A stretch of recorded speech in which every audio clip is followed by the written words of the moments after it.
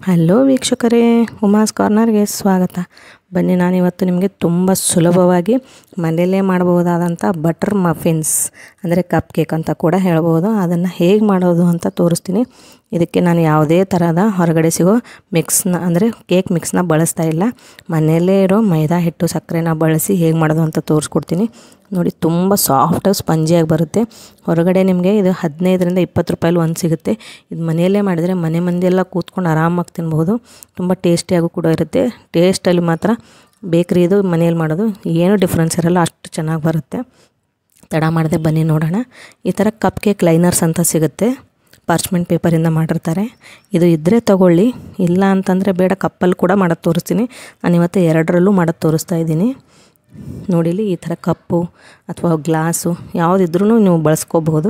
ಈ ಥರ ಎಣ್ಣೆ ಅಥವಾ ಬೆಣ್ಣೆನ ಅದನ್ನು ಸವರ್ಕೊಳ್ಳೋಣ ತುಂಬ ಜಾಸ್ತಿ ಏನು ಬೇಡ, ಸ್ವಲ್ಪ ಎಣ್ಣೆ ಹಾಕಿ ಈ ಥರ ಸವರಿ ಇಟ್ಕೊಳ್ಳೋಣ. ನೋಡಿಲಿ ಮೈದಾ ಹಿಟ್ಟು ತೊಗೊಂಡಿದ್ದೀನಿ ನಾನು. ಇದನ್ನು ಈ ಥರ ಹತ್ತಿ ಹತ್ತಿ ಕೂಡ ತೊಗೋಬಾರ್ದು. ಅಥವಾ ಗುಡ್ಡೆ ಥರ, ಗುಡ್ಡ ಥರನೂ ಮಾಡಿ ಜಾಸ್ತಿ ತೊಗೊಳ್ಳೋದಲ್ಲ ಈ ಥರ ಪ್ರಮಾಣದಲ್ಲಿ ಒಂದು ಚಾಕುವಿನಿಂದ ಅದನ್ನ ಸಮ ಮಾಡಿ ತೊಗೋಬೇಕಾಗತ್ತೆ. ಎಕ್ಸ್ಟ್ರಾ ಇರೋದನ್ನು ನಾನು ತೆಗೆದು ಇಟ್ಕೊಳ್ತಾ ಇದ್ದೀನಿ. ಇಲ್ಲಿ ಇದನ್ನು ಹಾಕ್ಕೊಳ್ತಾ ಇದ್ದೀನಿ ನಾನು, ಒಂದು ಕಪ್ಪು. ಹಾಗೆ ಸೇಮ್ ಅದೇ ಥರ ಅಳತೆನ, ಅಳತೆ ತೊಗೊಳ್ಳೋದನ್ನು ನೆನಪಿಟ್ಕೊಳ್ಳಿ. ಅರ್ಧ ಕಪ್ಪು ಸಕ್ಕರೆ ಪುಡಿನ ಹಾಕ್ತಾಯಿದ್ದೀನಿ ಮನೆಯಲ್ಲೇ ಇರೋ ಸಕ್ಕರೆನ ಮಿಕ್ಸರಲ್ಲಿ ಹಾಕಿಟ್ಕೊಂಡಿದ್ದೀನಿ ನಾನು. ಸಕ್ಕರೆ ಪುಡಿ ಅರ್ಧ ಕಪ್ಪು. ಇದಕ್ಕೆ ಎರಡು ಟೇಬಲ್ ಸ್ಪೂನು ಹಾಲಿನ ಪುಡಿ. ವೆನಿಲ್ಲಾ ಕೇಕು ಅಥವಾ ಕಪ್ ಕೇಕ್ಸ್ಗೆ ಹಾಲಿನ ಪುಡಿ ಹಾಕೋದ್ರಿಂದ ಟೇಸ್ಟ್ ತುಂಬಾ ರಿಚ್ ಆಗಿರುತ್ತೆ ಕಂಡೆನ್ಸ್ಡ್ ಮಿಲ್ಕ್ ಬಳಕ್, ಬಳಸದೇ ಇರೋರು ಹಾಲಿನ ಪುಡಿನ ಹಾಕ್ಬೋದು. ಎರಡು ಟೇಬಲ್ ಸ್ಪೂನು ಯಾವುದೇ ಬ್ರ್ಯಾಂಡ್ ಹಾಲಿನ ಪುಡಿ ಆದರೂ ಪರವಾಗಿಲ್ಲ.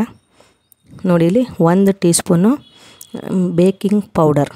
ಒಂದು ಟೀ ಸ್ಪೂನ್ ಬೇಕಿಂಗ್ ಪೌಡರ್ ನೆನಪಲ್ಲಿ ಇಟ್ಕೊಳ್ಳಿ. Baking powder one teaspoon baking soda, ಅಂದರೆ ಮನೇಲಿರೋ ಸೋಡಾ ಒನ್ ಫೋರ್ತ್ ಟೀ ಸ್ಪೂನ್ನ ಯೂಸ್ ಮಾಡಬೇಕಾಗುತ್ತೆ. ಇಷ್ಟೇ ಪ್ರಮಾಣದಲ್ಲಿ ಯೂಸ್ ಮಾಡಿ ಕರೆಕ್ಟಾಗಿರೋ ಮಫಿನ್ಸ್ ಬರುತ್ತೆ ನಿಮಗೆ. ನೋಡಿ, ಇಲ್ಲಿ ನಾನು one fourth teaspoon baking ಸೋಡಾನ ಹಾಕ್ತಾಯಿದ್ದೀನಿ ಇವೆಲ್ಲವನ್ನು ಹಾಕಿ ಮಿಕ್ಸ್ ಮಾಡಿ ಸೈಡಲ್ಲಿ ಎತ್ತಿಟ್ಕೊಳ್ಳೋಣ. ಇವಾಗ ನಾನು ಟೂಟಿ ಫ್ರೂಟಿ ಮನೆಯಲ್ಲಿ ಇದ್ದರೆ ಹಾಕಿ, ಇಲ್ಲಾಂದ್ರೆ ಪರವಾಗಿಲ್ಲ. ಬಟ್ ಟೂಟಿ ಫ್ರೂಟಿ ಹಾಕಿದಾಗ ಕೇಕಲ್ಲಿ ಕೆಳಗಡೆ ಕೂತ್ಕೊಂಡ್ಬಿಡುತ್ತೆ ಬೇಕಾದಾಗ.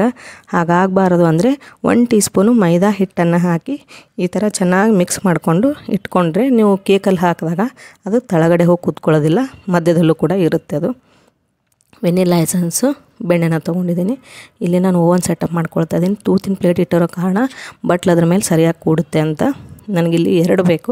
ಅದಕ್ಕೋಸ್ಕರ ಎರಡು ಕಡಾಯಿನ ಇಟ್ಕೊಂಡಿದ್ದೀನಿ. ಒಂದರಲ್ಲೇ ಅದು ಆಗೋದಿಲ್ಲ. ಇಲ್ಲಿ ಅರ್ಧ ಕಪ್ಪು ಹಾಲನ್ನ ಹಾಕ್ಕೊಳ್ತಾ ಇದ್ದೀನಿ. ಹಾಲಿಲ್ಲ ಅಂದರೆ ನೀರು ಕೂಡ ಹಾಕ್ಬೋದು.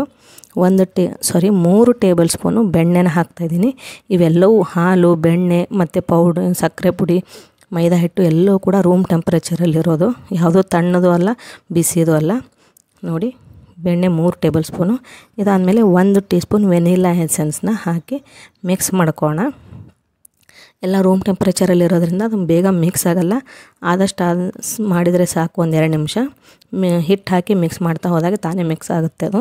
ಹಿಟ್ಟನ್ನು ಕೂಡ ನಾನು ಹೇಳ್ತೀನಲ್ವ, ಒಂದೇ ಸರ್ತಿಗೆ ಅಷ್ಟನ್ನು ಆ್ಯಡ್ ಮಾಡಿದರೆ ಅದು ಗಂಟುಗಳಾಗಿ ಕೇಕ್ ಚೆನ್ನಾಗಿ ಬರೋಲ್ಲ. ಹಾಗಾಗಿ ಈ ಥರ ಬ್ಯಾಚಸಲ್ಲಿ ಹಾಕಿದರೆ ಅದರಲ್ಲಿರೋ ಗಾಳಿ ಎಲ್ಲ ಹೋಗಿ ನಿಮಗೆ ಕೇಕ್ ಸಾಫ್ಟಾಗಿ ಸ್ಪಂಜಿಯಾಗಿ ಬರುತ್ತೆ. ಯಾವಾಗಲೇ ಕೇಕ್ ಮಾಡಿದರೂ ಈ ಥರ ಜರಡಿ ಹಿಡದೆ ನೀವು ಕೇಕ್ ಬ್ಯಾಟರ್ನ ಕಲಿಸ್ಕೊಳ್ಳಿ. ಕೇಕ್ ಮಾತ್ರ ತುಂಬ ಸೂಪರಾಗಿ ಬರುತ್ತೆ. ನೀವು ಟ್ರೈ ಮಾಡಿ ನೋಡಿ ಬಂದೇ ಬರುತ್ತೆ ಈ ಸರಿ ನಿಮ್ಮ ಕೇಕು ನೋಡಿ ಈ ಥರ ನಾನು ಇಲ್ಲಿ ಇದನ್ನು ಮೂರು ಬ್ಯಾಚಲ್ಲಿ ಮಾಡ್ಕೊಂಡಿದ್ದೀನಿ. ಇದೇ ಥರ ನೀವು ಮಿಕ್ಸ್ ಮಾಡ್ಕೊಳ್ಳಿ. ಈ ಚ ನನ್ನ ಚಾನಲ್ ನೀವು ಇನ್ನೂ ಸಬ್ಸ್ಕ್ರೈಬ್ ಆಗಿಲ್ಲ ಅಂದರೆ ನನ್ನ ಚಾನಲ್ನ ಸಬ್ಸ್ಕ್ರೈಬ್ ಆಗಿ, ಹಾಗೆ ಮುಂದೆ ಇನ್ನೂ ಒಳ್ಳೆ ಒಳ್ಳೆ ರೆಸಿಪಿಗಳೊಂದಿಗೆ ನಿಮ್ಮ ಹತ್ರ ಶೇರ್ ಮಾಡ್ಕೊಳ್ಳೋಕ್ಕೆ ನಾನು ಇಷ್ಟಪಡ್ತೀನಿ. ಹಾಗೆ ನಿಮ್ಮ ಫ್ರೆಂಡ್ಸು, ಫ್ಯಾಮಿಲಿಗೆ ನನ್ನ ವೀಡಿಯೋಸ್ನ ಶೇರ್ ಮಾಡಿ, ನನ್ನ ಈ ವೀಡಿಯೋಸ್ ನಿಮಗೆ ಇಷ್ಟ ಆಗಿದ್ದರೆ ಲೈಕ್ ಮಾಡಿ. ನೋಡಿಲಿ ಇದೇ ಥರ ಕಟ್ ಆ್ಯಂಡ್ ಫೋಲ್ಡ್ ಮೆಥಡಲ್ಲಿ ಮಿಕ್ಸ್ ಮಾಡಬೇಕು ಇದನ್ನು. ಯಾವುದೇ ಕಾರಣಕ್ಕೂ ಈ ಕಡೆ ಈ ಕಡೆ ತಿರುಗೋ ಸಹ ಆಗಿಲ್ಲ. ಕೇಕ್ ಬ್ಯಾಟರ್ನ ತುಂಬ ಹೊತ್ತು ಕೂಡ ಮಿಕ್ಸ್ ಮಾಡೋಕ್ಕೂ ಆಗಲ್ಲ. ಮಿಕ್ಸ್ ಮಾಡಿದರೆ ಕೇಕ್ ಗಟ್ಟಿಯಾಗಿ ಬರುತ್ತೆ. ಇಲ್ಲಿ ಸ್ವಲ್ಪ ಹಾಲು ಕಡಿಮೆ ಅನ್ನಿಸ್ತು. ನಾನು ಒಂದೂವರೆ ಟೇಬಲ್ ಸ್ಪೂನು ಹಾಲನ್ನ ಮತ್ತೆ ಸ್ವಲ್ಪ ಹಾಕ್ಕೊಂಡಿದ್ದೀನಿ. ಇದನ್ನು ಮಿಕ್ಸ್ ಮಾಡ್ಕೊಳ್ತಾ ಇದ್ದೀನಿ. ಇದು ಮಿಕ್ಸ್ ಆದ ತಕ್ಷಣ ನೋಡಿ, ಈ ಥರ ಸಾಫ್ಟಾಗಿರಬೇಕು ಯಾವುದೇ ಕಾರಣಕ್ಕೂ ಗಂಟುಗಳಿಲ್ಲದೆ ನೋಡಿ ಸಾಫ್ಟಾಗಿ ಅನ್ನಿಸ್ಬೇಕು ನಿಮಗೆ. ಆ ಥರ ಕಲಸಿ, ಇದೇ ಮೆಥಡಲ್ಲಿ ಕಟ್ ಆ್ಯಂಡ್ ಫೋಲ್ಡ್ ಮೆಥಡಲ್ಲೇ ಕಲಸಿ, ಈ ಈ ಕಪ್ ಕೇಕ್ಸ್ಗೆ ಸ್ವಲ್ಪ ಬ್ಯಾಟರ್ ಗಟ್ಟಿ ಬೇಕು. ಈ ಥರ ಇದಾದಮೇಲೆ ಇದಕ್ಕೆ ಒಂದು ಟೀ ಸ್ಪೂನ್ ವೆನೆಗರ್ ಹಾಕ್ತಾಯಿದ್ದೀನಿ ವೆನೆಗರ್ ಇಲ್ಲ ಅಂದರೆ ಲಿಂಬೆ ರಸನ ಹಾಕಿ ಅದು ಕೂಡ ಚೆನ್ನಾಗಿ ಬರುತ್ತೆ. ಕೇಕು ಉಬ್ಬಿ ಬರೋದಕ್ಕೆ ಅದು ತುಂಬ ಹೆಲ್ಪ್ ಆಗುತ್ತೆ. ಬಟ್ ಟೇಸ್ಟಲ್ಲಿಗೂ ಯಾವುದೇ ಚೇಂಜ್ ಇರಲ್ಲ ನಿಂಬೆ ರಸ ಹಾಕೋದ್ರಿಂದ. ಟೇಸ್ಟು ಕೇಕ್ ಟೇಸ್ಟು ಚೆನ್ನಾಗೇ ಬರುತ್ತೆ. ಈಗ ಇದಕ್ಕೆ ನಾನು ಟೂಟಿ ಫ್ರೂಟಿನ ಹಾಕ್ಕೊಂಡಿದ್ದೀನಿ ಸ್ವಲ್ಪ ಟೂಟಿ ಫ್ರೂಟಿ ಮೇಲ್ಗಡೆ ಹಾಕೋಕ್ಕೆ ತೆಗೆದಿಟ್ಕೊಂಡಿದ್ದೀನಿ. ಈ ಥರ ಟೂಟಿ ಫ್ರೂಟಿ ಮತ್ತು ವಿನೆಗರ್ ಹಾಕಿದ ಮೇಲೆ ಹತ್ತರಿಂದ ಹದಿನೈದು ಸೆಕೆಂಡ್ ಅಷ್ಟೇ ಮಿಕ್ಸ್ ಮಾಡಬೇಕು. ಜಾಸ್ತಿ ಮಿಕ್ಸ್ ಮಾಡಿದರೆ ಟೂಟಿ ಫ್ರೂಟಿ ಪೂರ್ತಿ ಕೆಳಗಡೆ ಹೋಗೋ ಚಾನ್ಸ್ ಇರುತ್ತೆ. ಈ ಥರ ಸ್ಪೂನಲ್ಲಿ ನಾವು ಹಾಕ್ತಾಯಿದ್ದೀವಿ ಅರ್ಧಕ್ಕಿಂತ ಸ್ವಲ್ಪ ಮೇಲೆ ಇರಬೇಕು. ಫುಲ್ ಹಾಕಿದರೆ ಅದು ಮತ್ತೆ ಉಬ್ಬಿ ಬಂದಾಗ ಕೆಳಗಡೆ ಚೆಲ್ಲೋ ಸಾಧ್ಯತೆ ಇರುತ್ತೆ. ಇಲ್ಲಿ ನಾನು ಹಾಕಿರೋದು ಒಂದೆರಡು ಕಡೆ ಜಾಸ್ತಿ ಆಗಿರೋದ್ರಿಂದ ಅದು ಕೆಳಗಡೆ ಬಿದ್ದಿದೆ. ನೆಕ್ಸ್ಟ್ ನಿಮಗೆ ಅದು ಬೇಕಾದಮೇಲೆ ತೋರಿಸ್ಕೊಡ್ತೇನೆ ಯಾವ ಥರ ಅದು ವೇಸ್ಟ್ ಆಗುತ್ತೆ ಅಂಥೇಳಿ ಅದಕ್ಕೋಸ್ಕರ ಅರ್ಧಕ್ಕಿಂತ ಸ್ವಲ್ಪ ಮೇಲೆ ಬಂದರೆ ಸಾಕು. ತುಂಬ ಫುಲ್ ಮಾಡಬೇಡಿ ಕಪ್ಪನ್ನು. ಈ ಥರ ಸ್ಪ್ಯಾಚುಲ ಯೂಸ್ ಮಾಡಿ, ಅದು ತುಂಬಾ ಇದು ಒಂದಕ್ಕೆ ಅಂತಲ್ಲ ಕೇಕ್ ಬ್ಯಾಟ್ರಿಗೆ ಅಂತಲ್ಲ ಯಾವುದೇ ಬ್ಯಾಟ್ರ್ ಮನೆಯಲ್ಲಿ ಹಿಟ್ಟು ಕಲಸೋಕ್ಕೂ ಕೂಡ ಅದು ತುಂಬ ಯಾವುದೇ ಹಿಟ್ಟು ವೇಸ್ಟ್ ಆಗಲ್ಲ. ನೋಡಿ ಉಳಿಸಿಟ್ಕೊಂಡಿರೋ ಟೂಟಿ ಫ್ರೂಟಿನ ನಾನು ಮೇಲ್ಗಡೆ ಹಾಕ್ತಾಯಿದ್ದೀನಿ ಕಲರ್ಫುಲ್ಲಾಗಿ ಚೆನ್ನಾಗಿ ಕಾಣಿಸುತ್ತೆ ಅಂತ.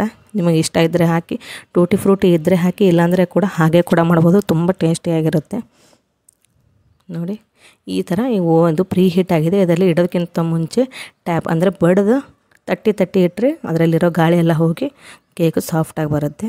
ಇದರಲ್ಲಿ ನಾನು ಐದು ಇಟ್ಕೊಂಡಿದ್ದೀನಿ. ಆ ಕಡೆ ಮೂರು ಇಟ್ಕೊಂಡಿದ್ದೀನಿ. ಒಟ್ಟು ನಾನು ಈ ಒನ್ ಕಪ್ ಮೈದಾ ಹಿಟ್ಟಿನ ಬ್ಯಾಟ್ರಲ್ಲಿ ಎಂಟು ಕೇಕ್ಗಳಾಗಿವೆ ನೋಡಿ ಈ ಥರ ಇಡ್ತಾಯಿದ್ದೀನಿ ಇಟ್ಟು ಇದನ್ನು ಕಪ್ ಕೇಕ್ ಮಾಡಬೇಕಂದ್ರೆ ಮಿನಿಮಮ್ ಹನ್ನೆರಡರಿಂದ ಹದಿನೈದು ನಿಮಿಷ. ಅಷ್ಟೇ ಸಾಕು.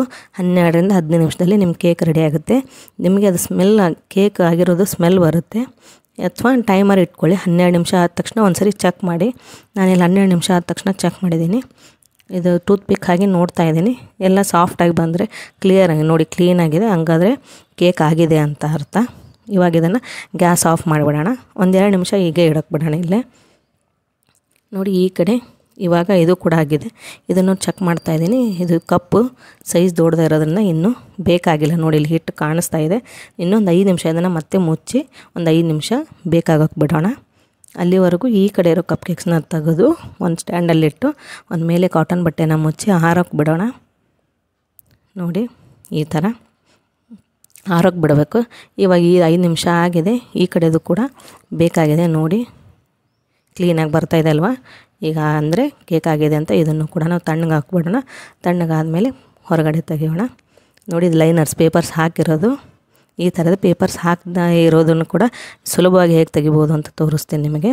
ಅದು ಕೂಡ ಸೇಮ್ ಕಪ್ಪಲ್ಲಿ ಒಂದು ಚಾಕುವಿಂದ ಸುತ್ತಲೂ ಬಿಡಿಸ್ಕೋಣ ಬಿಡಿಸ್ಕೊಂಡು ಕೆಳಗಡೆ ಮಾಡಿದರೆ ಈಸಿಯಾಗಿ ಬರುತ್ತೆ.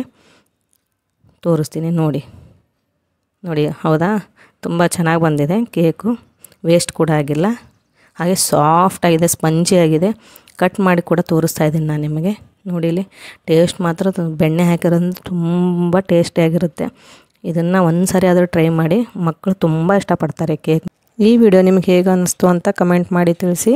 ಮತ್ತೆ ಸಿಗ್ತೀನಿ ಮುಂದಿನ ರೆಸಿಪಿಯೊಂದಿಗೆ ಅಲ್ಲಿವರೆಗೂ ಟ್ರೈ ಮಾಡಿ ಬಾಯ್ ಆ್ಯಂಡ್ ಎಂಜಾಯ್